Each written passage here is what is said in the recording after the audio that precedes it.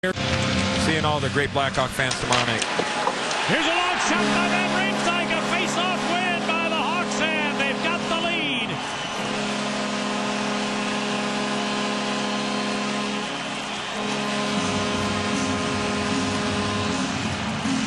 Oh, the first ever NHL goal for Trevor Van Riemsdyk in his 15th game in the league.